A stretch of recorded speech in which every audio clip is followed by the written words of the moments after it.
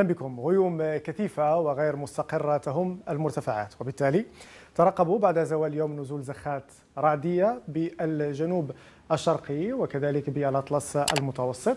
وبعد القطرات المطرية محتملة بأقصى الشمال الغربي وأجواء ستكون مستقرة بباقي الجهات. وخلال الليل زخات رعدية متواصلة بالجنوب الشرقي وأيضا بالأطلس المتوسط وبجنوب منطقة الشرق.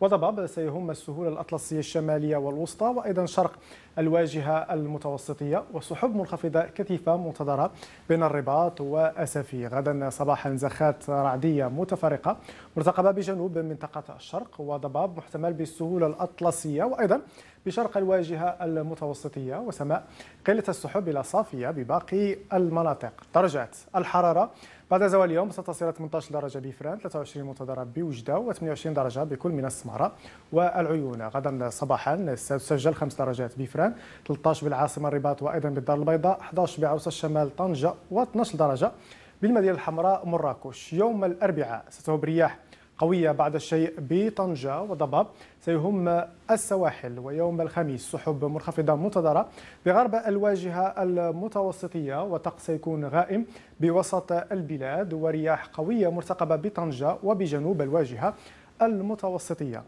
نتعرف الآن على مواقيت طلوع وغروب الشمس ثم طلوع وأفل القمر بمدينة الدار البيضاء.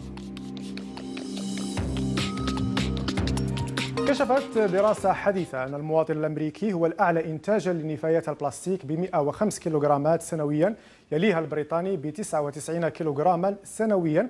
لتصح تلك الدراسة المفهوم الشائع مسبقا بأن الشعوب الفقيرة في قارة آسيا تحديدا هم المتسبب الأول في أزمة نفايات البلاستيك الملوثة للبيئة.